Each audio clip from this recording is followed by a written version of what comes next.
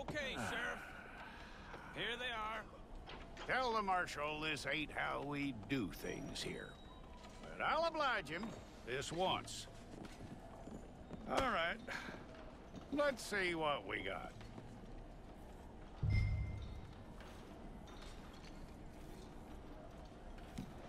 Come on. Okay, you, head through there.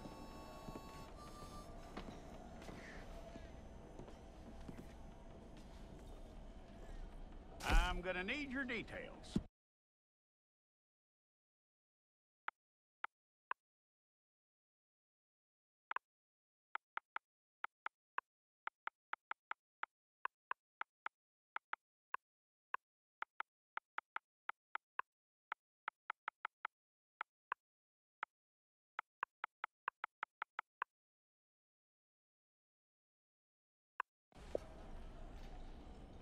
Take the time and get this right.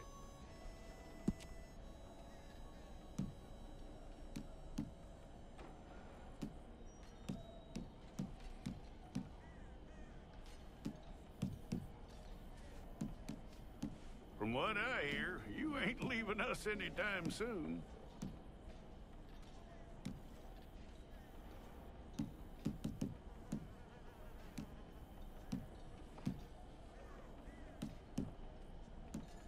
We're gonna need a fair record of you.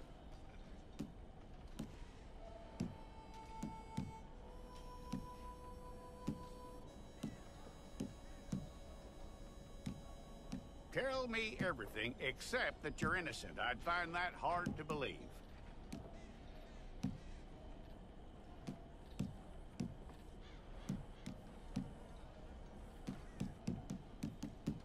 Quite a record we'll have on you.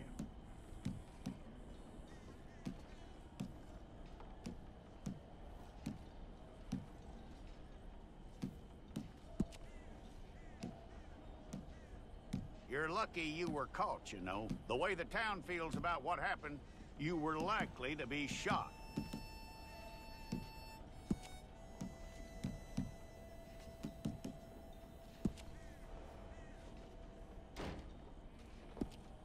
It's a process, all right, but a necessary one.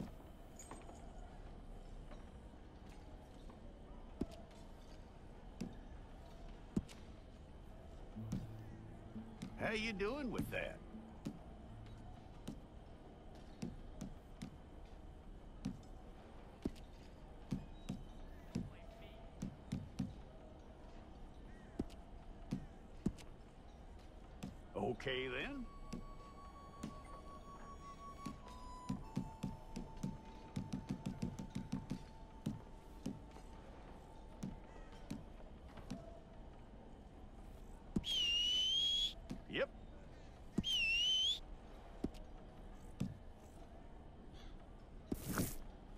The wrong one of you?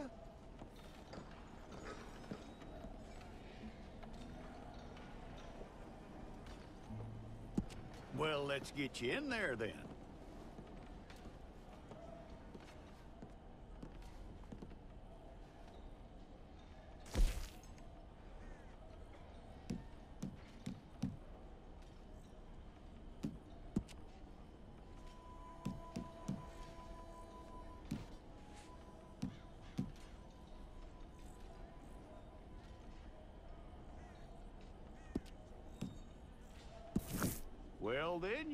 Your portrait took.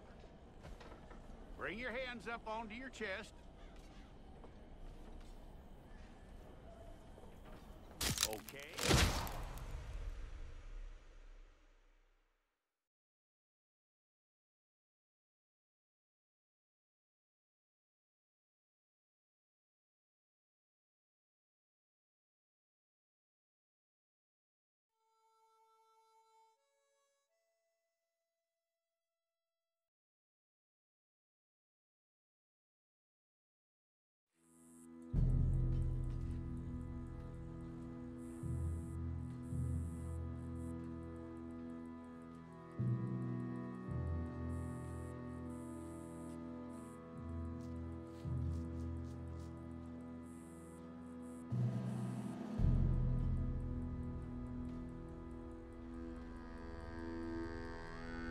Jackson! Officer Jackson, move those prisoners! Officer Benton! Kitchens aid staff! Officer Townsend, those rocks ain't gonna break themselves. What are you standing there for? Get moving! What are you looking at? Go on, get moving!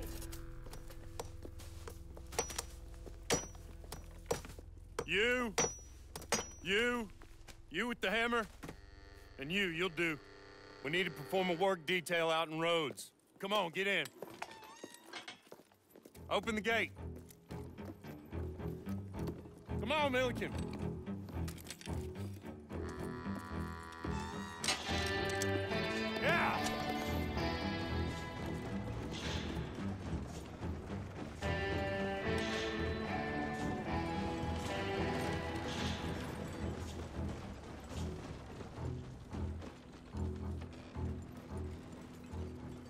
Tell you what, old Jameson is a wretched, sour old bastard, and no mistake. You lot stay calm in there. You aren't saying nothing. Well, you are now. Shut up. You know, my wife has acquired ideas significantly above her station. She's been reading too many goddamn books.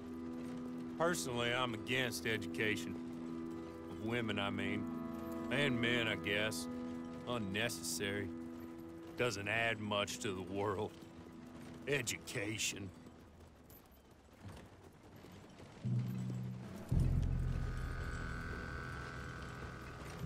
Good day, gentlemen. Oh, Don't do anything stupid. Nobody gets shot. Act like fools, and the pair of you will be dead within a minute. Now, what are your names? Jenkins and Milliken. Well, Mr. Jenkins and Mr. Milliken. Throw your guns to the ground and get on down here. That's it. Very glad to meet you. It's not worth being rash. You boys get paid a salary. You get that salary whether these people escape or not. Your wives presumably want you alive. Let them out. Now, please. Okay, okay.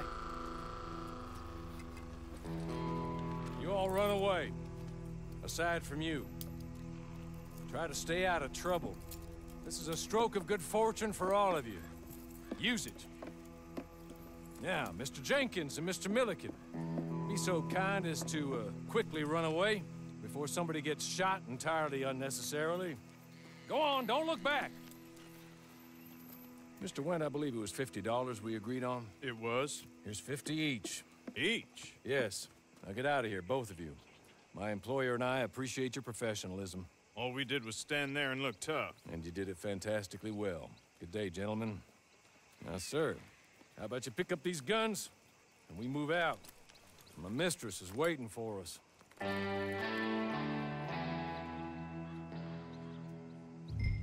Come along. And you better get on this horse.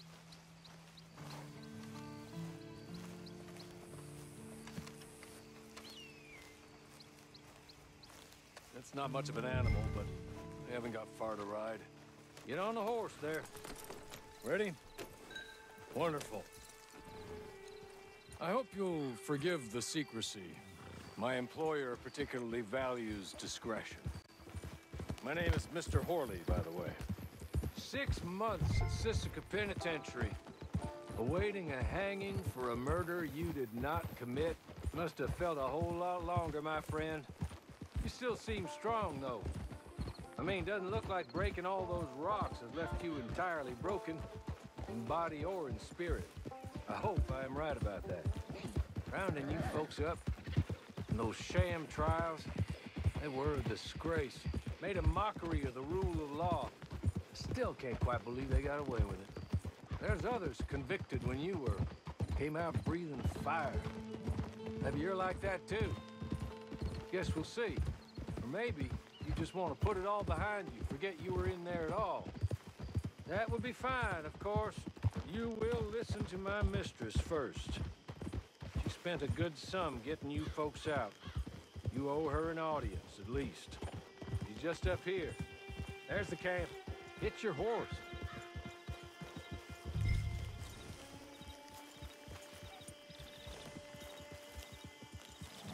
Come on, hitch up.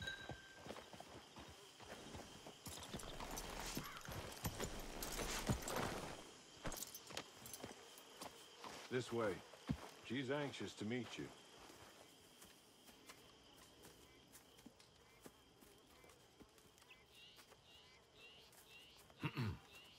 Madam, we're back. Hello. Jessica LeClerk, how do you do? What did you tell him? Nothing, as we discussed. Thank you, Horley. I do hope we haven't inconvenienced you dreadfully. But seeing as you were due to be hanged in a week, I'm sure you don't object too strongly. I know you're innocent. Well, not perhaps exactly innocent, but not guilty of what you were accused. I know you and those who were with you that died were little more than patsies, and that you were set up by one of three men or a woman, possibly by all of them. I can't be sure, but that is all I know so far. And one of these people also made Mrs. LeClerk a widow. And I will avenge my husband's death, so help me God. But I will not avenge it upon them who did not cause it, or caused it unwittingly. Anyway, I'm sure this is all a touch confusing and melodramatic. Uh, where are my manners? Horley, please show our guests to their tent and give them some fresh clothes to put on. Very good, madam. Then serve us both a little refreshment. Certainly, madam. This way. You'll find a change of clothes in there, alongside a few other items you might need, a lasso, a knife, and a lantern, I believe.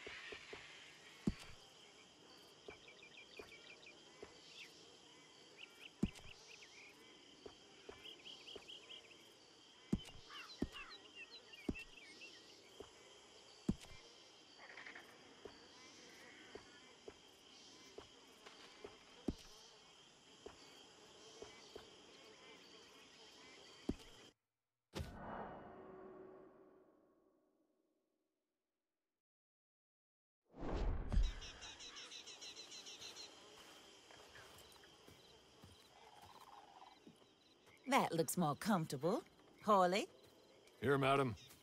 your very good health. I suppose it beats dying, hmm? Mrs. LeClerk's husband was murdered by one of his business partners. And I intend to find out which one. Or rather, I intend for you to find out. And kill them. You're the only person I could possibly trust to do whatever it takes. Because you and your accomplices, you're the only other victims of their lies still alive. You see, you walked into the town at approximately the same time my husband was shot in the back, but by another gun, firing different bullets to those you possessed when you were arrested. These bullets. This was their mistake. You were rounded up and sentenced to death. All because you came to town and didn't talk too much and seemed like you were nasty. Anyway, here they are. The people who run Blackwater. Mr. Jeremiah Shaw, banker, real estate speculator, and crook, Mr. Amos Lansing. ranch owner, speculator, and crook. Mrs. Grace Lansing, his wife, society patroness, lover of the arts, crook, and my former best friend. Teddy Brown, her disgraced brother, outlaw, wanted man, and still in contact with them. All I ask of you is your help in finding out quite what happened. Mrs. LeClerk would like to help you get back on your feet. Get back to work. Whatever your work may be, I don't judge. You want to rob? Rob. You want to save innocent folk? Do that as well. But you need me just as much as I need you. I think we all understand each other. I hope we do. Good. I look forward to rewarding you for killing those who made me a widow. My husband was a true believer in this country and in the West. He was killed for greed. Foul greed when there's quite enough for everybody. I don't care what your scruples are as to killing. I will take the full burden of that sin upon my shoulders. Goodbye, for now. Then Horley, go introduce him to nice Mr. Cripps. I think you'll like Cripps well enough. He's long past his prime, of course, but uh, he hasn't gone entirely crazy just yet.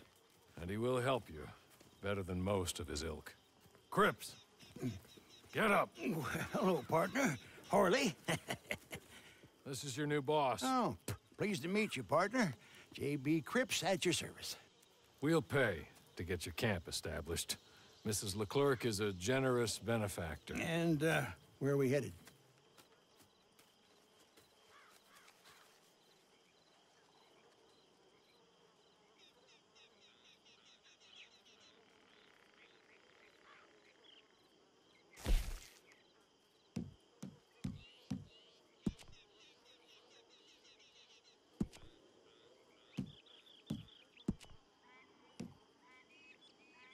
Oh, sir.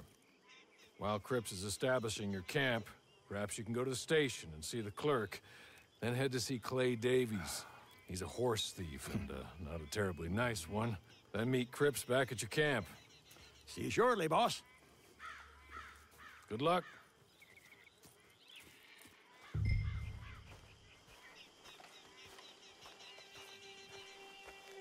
I'm sure you're tired. Get this done and you can rest.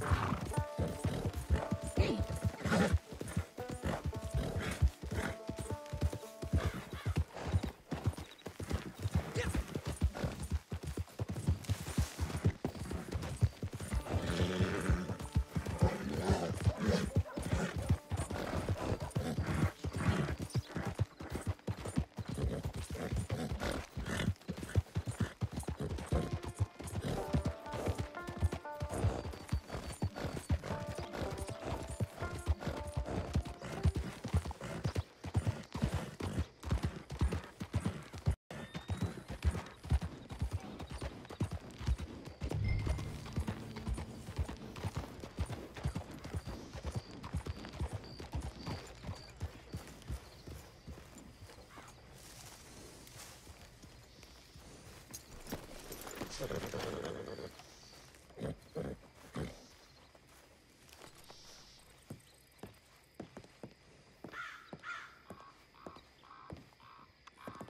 ain't paid to stand around like saloon whores.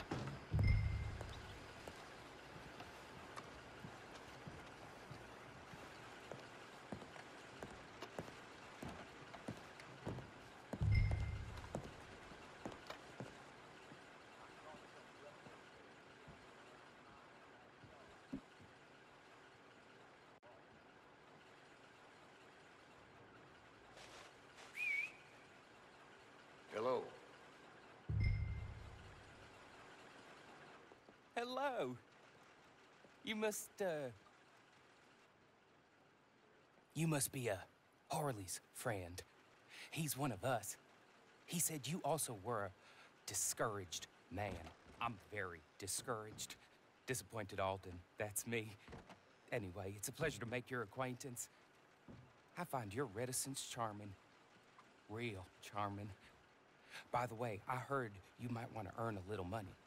Well, some gentlemen have been robbing our stages, and they are not part of the club, if you catch my meaning. If you can make them go away, I'm sure they will have something of interest to you. They're up at Blue Water Marsh.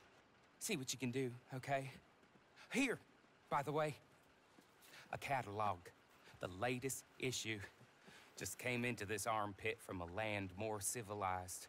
And if all works out, well, my colleagues and I move around these stations as needed. And all of us are very discouraged. We will all help a fellow sufferer with pertinent information. Good afternoon, sir.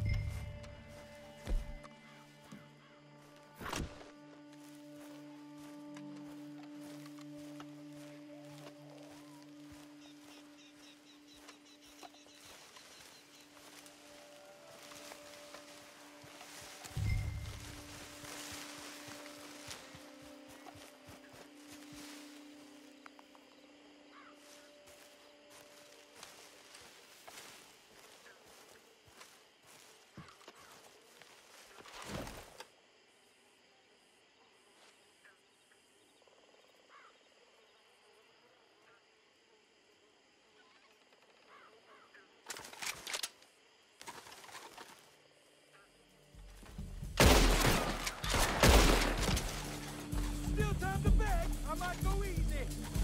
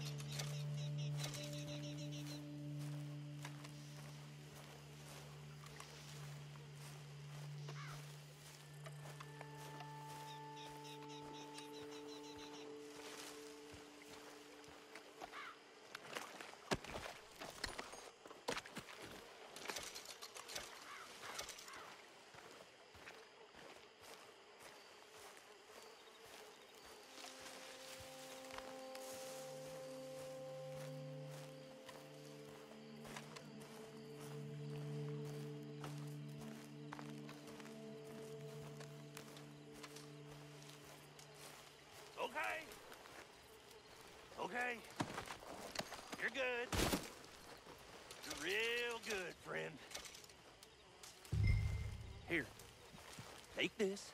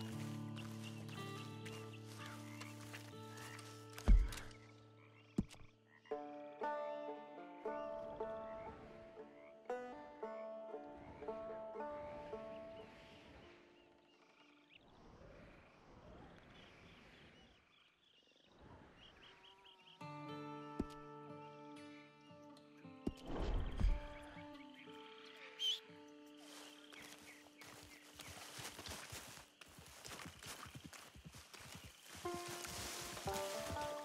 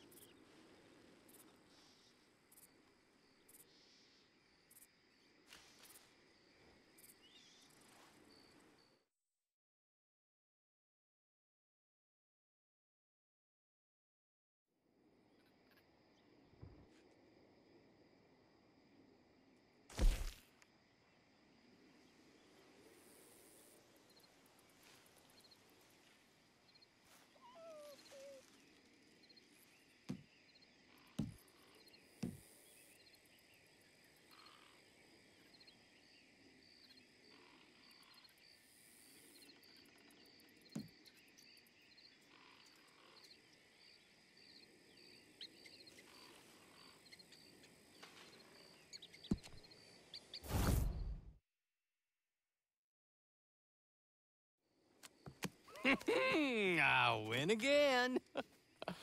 Did Horley send you, Pop? I'm Clay Davies. This is my brother, Clive. He don't talk. Maybe you two will get along better. Maybe not. Listen, I heard you wanted to earn some money. So, there's a gang of ne'er-do-wells. They are a bunch of degenerates, not good people. They're out in Rhodes with a bunch of horses they stole off of me. well, that's a lie, but they stole them off a fella I was gonna steal them off of. Maybe you could get them for me. You think you could do that for me, Pop? Oh, look. Here are your friends. Well, good. Meet me at the stable at Saint Denis once you have the horse flesh, and I'll pay you good. Oh, and Pop, Horley wanted me to remind you any decent work you can find, take it. But just try to stay out of trouble. Oh, and once you give me those horses, well, after that, we'll talk again. Oh, I do so enjoy these conversations. I'm used to them on account of my brother. Let's go, Clive.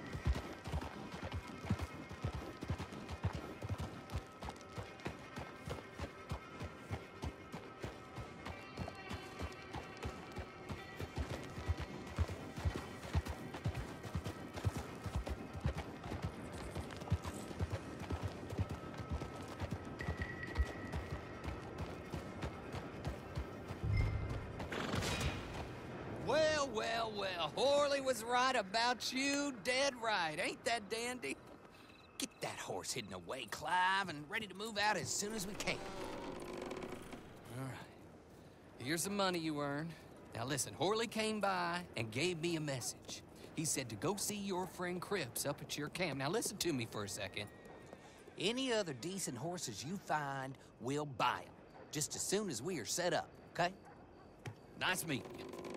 You know what? Hold on, boy. I call him boy because I'm older. 30 minutes, he went black. Let's give our friend here back the horse. It's yours. A sign of faith and future business. If you want to buy any extras or sundries for the animal, head inside. They've got a lot available. See you soon. Come on, Clive.